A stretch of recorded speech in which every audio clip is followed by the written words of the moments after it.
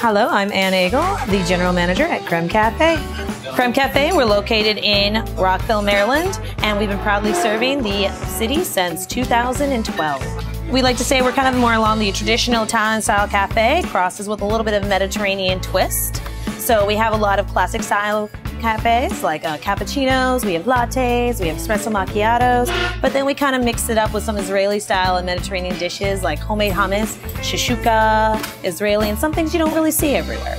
We really specialize in our cappuccinos. We take a lot of pride in that. We also have Bareka specials, which is something you can't find in many places, and our shashuka, which are both Israeli style dishes and are absolutely delicious. I would say the philosophy of Creme Cafe is to serve the best coffee we possibly can to the customers with the absolute best sort of smile. What separates us from from a lot of the other coffee shops is a little bit of our interactions with our customers. We have a lot of people regular. We're very we're very personal. We try to be very open while keeping a very professional demeanor. Uh, the atmosphere here is fantastic.